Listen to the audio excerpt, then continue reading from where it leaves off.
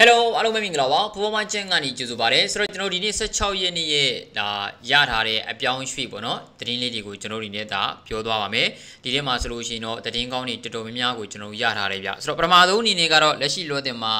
ကျွန်တော်တို့ Manchester United ရဲ့ပြစ်မဲ့နောက်ခံကစားမှာဖြစ်တဲ့ Kim Min Jae ပေါ့နော် Kim Min Jae ကလက်ရှိမှာ Bayern Munich တင်ကိုပြောင်းဖို့အတွက်တော်တော်အခြေအနေကောင်းနေပါပြီ။ Bayern ရဲ့ဘက်ကလာမယ့်ဇူလိုင်လ1ရက်နေ့မှာစပြီးတော့ဒီအသက်ဝင်မဲ့ ကင်မင်ဂျေရဲ့စာချုပ်ပါရော်ကြီးကိုလည်းပြီးဖို့အတွက်သူတို့က ready ဖြစ်နေတယ်လို့ကျွန်တော်သိရတယ်။ကစားမဖြစ်သူနဲ့ပုံကိုရေးဆိုင်ရာသဘောတူညီမှုတွေရဖို့ကလည်းဘိုင်ယန်ရဲ့ဘက်ကတော်တော်လေးကိုနှီးစက်မှုတွေရှိနေပြီပေါ့။ United တင်ရဲ့ဘက်ကတော့ကင်မင်ဂျေနဲ့ပတ်သက်ပြီးတော့စိတ်ဝင်စားတယ်ဆိုတာကလွဲပြီးတော့ထပ်ပြီးတော့ထိရရောက်လှုပ်ထားတာမျိုးတွေကျွန်တော်တို့မရှိသေးဘူး။ဒါကြောင့်ဒါ Fabrizio Romano ရဲ့ပြောပုံရဆိုလို့ရှိရင်တော့ကစားမဖြစ်တဲ့ကင်မင်ဂျေဟာ ဘိုင်ယန်မြူနစ်တင်ကိုပြောင်းမှုအတွက်တော်တော်ကိုအခြေအနေကောင်းနေတဲ့အနေအထားမျိုးပါနောက်တစ်ခုကတော့ကျွန်တော်တို့နေနဲ့ကန်စီတူပေါ့နော် Brighton အသင်းရဲ့ကွင်းလင်ကစားမဖြစ်တဲ့ကန်စီတိုကလက်ရှိမှာ Chelsea ကိုပြောင်းဖို့အတွက်ဆုံးဖြတ်လိုက်ပြီးဖြစ်တယ်ဆိုပြီးတော့ကျွန်တော်တို့ Fabrizio Romano ရဲ့ဖော်ပြချက်အရကျွန်တော်တို့သိထားရတယ်။ပြီးခဲ့တဲ့နေ့ကပဲ Arsenal အသင်းရဲ့ဘက်ကကစားမဖြစ်သူကိုခေါ်ဖို့အတွက်နောက်ဆုတ်ခဲ့ပြီးမှ မန်ချက်စတာနဲ့တင်ရဘက်ကလည်းထိရောက်တဲ့ကံလန့်မှုတွေဆွေးနွေးမှုတွေလှုပ်ထားခြင်းမရှိသေးဘူး။နော်ဒါအပြင်ဘိုင်ယန်မြူနစ်တင်ရဘက်ကလည်းစိတ်ဝင်စားခဲ့တာရှိပြီးမြဲကိုင်စီတို့ကိုထိထိရောက်ရောက်ကျွန်တော်တို့အနေနဲ့ကံလန့်ခဲ့တာမျိုးတွေကျွန်တော်တို့မရှိသေးဘူး။ဆိုတော့နောက်ဆုံးမှာတော့ကစားမဖြစ်သူကိုယ်တိုင်က Chelsea တင်းကိုပြောင်းမှုတွေဆုံးဖြတ်လိုက်တယ်လို့ကျွန်တော်တို့သိရတယ်။ချယ်ဆီရဲ့ဘက်ကတော့ကစားမပြည်သူကိုခေါ်နံမှုအတွက်လက်ရှိမှာညှိနှိုင်းဆွေးနွေးမှုတွေဆက်ပြီးတော့လုပ်သွားမယ်။ဘရိုက်တန်ရဲ့ဘက်ကတော့ယူရိုတန်90ခန့်တိအလိုရှိနေတယ်။ ချယ်ဆီရဲ့ဘက်ကလည်းငွေကြေးရပေးချေနိုင်စွမ်းရှိတဲ့အနေအထားမျိုးပါဒါအပြင်ကစားသမားဖြစ်သူနဲ့ပုဂ္ဂိုလ်ရေးဆိုင်ရာသဘောတူညီမှုတွေရဖို့အတွက်လည်းချယ်ဆီတင်းရဲ့ဘက်ကတော့အတိုင်းအတာတစ်ခုထိကျူးပန်းနေတဲ့မျိုးတွေကျွန်တော်တို့ရှိတယ်ကျွန်တော်တို့ဘိုင်တန်ရဲ့ဘက်ကတော့ကစားသမားဖြစ်သူကိုတင့်တော်တဲ့ကမ်းလှမ်းမှုရလို့ရှိရင်လက်လွတ်မယ်ဖြစ်တယ်ဆိုပြီးတော့ ကျွန်တော်တို့အနေနဲ့ဂရီပေးထားပြီးသားဖြစ်တယ်ဗောနော်တရားလောတင်မှာဆိုလို့ရှိရင်ကျွန်တော်တို့အနေနဲ့ကစားမဖြစ်သူအတွက်ပုံကိုကြီးဆိုင်ရာသဘောတူညီမှုတွေရဖို့လဲချယ်ဆီနဲ့ကအလှမ်းမဝေးတော့ဘူးဒါကြောင့်ကိုင်စီရိုကိုချယ်ဆီအသင်းမှာလာမယ့်ရာသီမြင်ရဖို့ကတော်တော်လေးကိုအခြေအနေကောင်းနေတဲ့အနေအထားမျိုးပါနောက်တစ်ခုကတော့ကျွန်တော်တို့ဒီနေ့ဒါဂျူလီယန်နေဂရစ်မန်ပေါ့ PSG ရဲ့ဘက်ကတော့နီးပြဖြစ်တဲ့လက်ရှိနီးပြဖြစ်တဲ့သူတို့တွေပေါ့နော်လက်ရှိနီးပြဖြစ်သူကိုထုတ်ပယ်အပြီးမှာအသင်းလက်မဲ့ဖြစ်နေတဲ့ဂျာမန်နီးပြတစ်ယောက်ဖြစ်တဲ့ဂျူလီယန်နေဂရစ်မန်ကို ခန့်အပ်နိုင်မှုတွေကျူးပန်းနေပါတယ်။ဒါအပြင်နေဂရစ်မန်နဲ့လည်းဓာတ်ရိုက်ချိတ်ဆက်ဆက်သွယ်စကားပြောဆိုမှုတွေကျွန်တော်တို့ရှိနေပါတယ်။ PSG ရဲ့ဘက်ကတော့လက်ရှိရပ်ပိုင်းတိုးတွင်းနေမှာတိုက်စစ်ကစားမဖြစ်တဲ့ကီလီယန်ဘာဘီနဲ့အလုတ်ရှုပ်နေတယ်ပေါ့ဗျာ။သို့တော်လည်းပဲနီးပြနေရာကအတိုင်းအတာတစ်ခုထိပြောင်းလဲရမှာဖြစ်တာကြောင့်သူတို့ဟာနီဂရစ်မန်ကိုရဖို့အတွက်အမှန်ကန်ကြိုးပမ်းနေတာဗျာ။နှစ်ယောက်နှစ်သူနှစ်ဦးနှစ်ဖက်ကြားမှာလည်းညီတိုင်းဆွေးနွေးမှုတွေရှိနေပြီးတော့လက်ရှိလို့တဲ့အနေထားရတော့လုံးဝသဘောတူညီမှုရတာမျိုးတွေထိတော့မရှိသေးတဲ့အနေထားမျိုးပါ။ နောက်တစ်ခုကတော့ကျွန်တော်စပါအသင်းပေါ့စပါကသူတို့စီကိုအငားလာကစားရင်းနဲ့ခြေသွမ်းနေပြခဲ့တဲ့ဂလူဆက်စကီကိုလက်ရှိမှာဂျူဝင်တက်ကနေပြီးတော့အမှန်ကန်ခေါ်ဖို့အတွက်ကြိုးပမ်းနေပါတယ်ဒါအပြင်စပါနဲ့ဂျူဝင်တက်ရဲ့ကြားမှာလည်းညီတိုင်းဆွေးနွေးမှုတွေကတော်တော်ကိုတော်တော်ကိုထိရောက်မှုရှိနေတဲ့အနေအထားမျိုးပါစပါရဲ့ဘက်ကကစားမဖြစ်သူအတွက်ပေါင်ယူရိုတန်30ပေါ့နော်ယူရိုတန်30နီးပါးရှိတဲ့တန်ကြီးနဲ့ခေါ်ဖို့ကြိုးပမ်းနေပါတယ်ဂျူဗင်တက်ရဲ့ဘက်ကလည်းသူတို့မျှော်လင့်တဲ့ဈေးနှုန်းနဲ့ပေါ့နော်အတိုင်းအတာတစ်ခုထိ ဒါကန့်ညီမှုရှိတာကြောင့်စပါးရဲ့ဘက်ကယူရိုတန်30ကမ်းလှမ်းလာမယ်ဆိုလို့ရှိရင်လက်ခံဖို့အတွက် ready ဖြစ်နေတဲ့အနေအထားပါစပါးရဲ့ဘက်ကတော့ဒီပမာဏနဲ့ပဲကူလူဆက်စကီကိုရောက်အောင်ခေါ်နိုင်လိမ့်မယ်ဆိုပြီးတော့သူတို့တွေယုံကြည်ထားကြတယ် ကူလူဆက်စကီကိုယ်တိုင်ကဂျူဝင်တက်မှာသူ့ရဲ့အနာဂတ်မရှိတာကြောင့်မနော်စပါးအသင်းမှာကသူကိုယ်တိုင်အံဝင်ခွင့်ကြားဖြစ်နေတဲ့ကစားမတစ်ယောက်ဖြစ်တဲ့နီးပြဖြစ်တဲ့ပိုစတီကိုဂလူနဲ့ပတ်သက်ပြီးတော့လည်းအတိုင်းအတာတစ်ခုထိ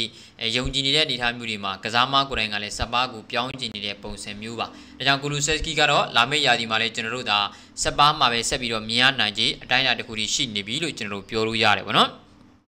အဲနောက်ထပ်တစ်ခုကတော့ကျွန်တော်တို့ဒါ James Madison ပေါ့လက်ရှိမှာကျွန်တော်တို့ James Madison ကို Newcastle ဘက်ကအမှန်ကန်စိတ်ဝင်စားနေတယ်ဆိုတာအားလုံးသိပါသို့တော်လည်းပဲလက်ရှိလောတင်မှာတော့စပါအသင်းရဲ့ဘက်က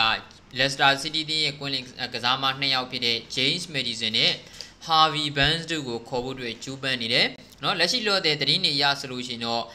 Harvey Barnes နဲ့ James Madison အတွက်ပေါင်သန်း90နဲ့ကန်လန်းသွားဖို့တောင်းမှအခြေအနေတွေရှိနေတယ်ပေါ့သို့တော်လည်းပဲ Leicester City တင်းရဲ့ဘက်ကဒီလိုကန်လန်းမှုရှိလာခဲ့ရင်ဘယ်နီးနဲ့မှသူတို့တွေ လက်ခံသွားဖို့မရှိဘူး။ဘာကြောင့်လဲဆိုတော့နှစ်ယောက်ပေါင်းတန်း90ဆိုတာကဘလို့မှအတိတ်ပဲမရှိတဲ့ကန့်လန့်မှုမျိုးဖြစ်တာကြောင့်စပါးဘက်ကတကယ်လို့အဲ့ဒါလို့နှစ်ယောက်ပေါင်းပေါင်တန်း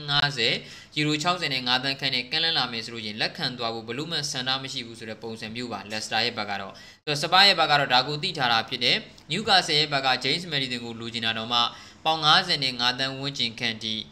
လက်စတာစီးတီးရဲ့ဘက်ကပါလူချင်နေဆိုတော့စပါးအနေနဲ့ နော် medicine အတွက်ကတော့ကျွန်တော်ဒီဒီလောက်ထိနေပါတဲ့ပမာဏနဲ့တော့ကန်လှမ်းဖို့အတွက်အင်မတန်ကိုလွယ်ကူမှုမရှိတဲ့အနေအထားမျိုးပါသို့တော့ဆက်ပြီးတော့ဗောနော်ကျွန်တော်တို့နေဒီချက်ဒီဘယ်လိုလဲစပါးတင်းရဲ့ဘက်ကတော့ကျူးပန်းသွားဖို့ရှိပါတယ်ဒီကစားမဖြစ်သူကိုခေါ်နိုင်ဖို့အတွက်အဲနောက်တစ်ခုကတော့ကျွန်တော်တို့အနေနဲ့ United အသင်းရဲ့နဲ့သတင်းတွေထွက်လာတဲ့ Andre Onana ပေါ့ The Guardian ရဲ့ဖော်ပြချက်အရ Manchester United အသင်းဟာ Inter Milan အသင်းရဲ့ဂိုးသမားဖြစ်တဲ့ Andre Onana ကိုကျွန်တော်တို့ဒီ Chelsea အသင်းနဲ့အပြိုင်ခေါ်ဖို့အတွက်ကျူးပန်းတော့မယ် နော် Chelsea အသင်းနဲ့အပြိုင်ခေါ်ဖို့အတွက်ကျွန်တော်တို့ကျူးပန်းတော့မယ်ဒါပေမဲ့လို့ဂိုးသမားနေရာကအရေးကြီးတဲ့အခန်းကဏ္ဍမှာပါဝင်လာတာဖြစ်ပေမဲ့တိုက်စစ်ကစားမတယောက်ကိုခေါ်ဖို့ကျူးပန်းတဲ့ပုံမှာငွေဘယ်လောက်သုံးသွားသလဲဆိုတဲ့ပုံမှာမူတည်ပြီးတော့ United ကဂိုးသမားနေရာမှာငွေများများသုံးနိုင်တယ်လားဆိုတာသူတို့ကြီးစောင့်ကြည့်သွားမှာဖြစ်တယ်ပေါ့နော်။ဒါကြောင့်လောဒီမှာဆိုလို့ရှိရင်တော့ United တင်ဘက်ကအန်ဒရီအိုနာနာဘက်ကိုပြန်ပြီးတော့လှည့်လာပြီး Eric Ten Hag နဲ့လည်း Egypt မှာအတိုင်းအတာတစ်ခုတည်းအလုပ်လုပ်ခဲ့မှုတာကြောင့်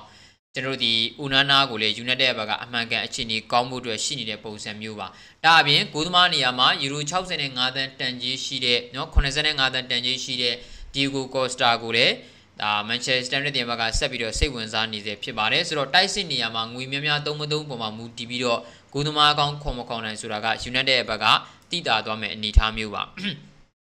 နောက်ထပ်တစ်ခုကတော့ကျွန်တော်တို့ Manchester City ရဲ့တောင်ပန်ကစားသမားဖြစ်တဲ့ Bernardo Silva ပါလက်ရှိမှာ Bernardo Silva ကိုကျွန်တော်တို့ဒီ PSG ရဲ့ဘက်ကခေါ်ဖို့အတွက်အင်မတန်စိတ်ဝင်စားနေတယ်လို့ Barcelona အသင်းရဲ့ဘက်ကလည်းခေါ်ဖို့အတွက်စိတ်ဝင်စားမှုတွေအတော်ရှိနေပါတယ်20နဲ့8နှစ်ပဲရှိသေးတဲ့ကစားသမားပါတိုးတော်လည်းပဲကစားသမားကိုယ်တိုင်ကမိုနာကိုကပြောင်းလာတဲ့သူတစ်ယောက်ဖြစ်တယ်လို့လက်ရှိမှာလည်း ဘာစီလိုနာကိုပဲပြောင်းမှုအတွက်အများကြီးကျွန်တော်တို့ရဲ့သဘောကျမှုရှိနေတဲ့အနေအထားမျိုးပါ။အဲကြောင့်လော်တင်မှာဆိုလို့ရှိရင်ကျွန်တော်တို့ပေါ့နော်မန်ချက်စတာစီးတီးရဲ့ဘက်က